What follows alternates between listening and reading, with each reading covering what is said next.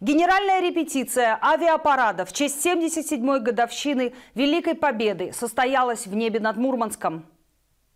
В демонстративном полете через Кольский залив и над мемориалом защитникам советского Заполярья были задействованы пять самолетов. Военно-транспортные Ан-26 и Ан-12, противолодочный Ил-38, воздушный пункт управления Ил-20 и дальний противолодочный Ту-142, а также пара вертолетов Ми-8 и противолодочный вертолет К-27М. Реактивная авиация была представлена самолетами Ту-134 в сопровождении истребителей МиГ-29. 9К, фронтовыми бомбардировщиками Су-24М и истребителями-перехватчиками МиГ-31БМ. Такой же полет состоится 9 мая после проведения военного парада и церемонии возложения венков и цветов к вечному огню.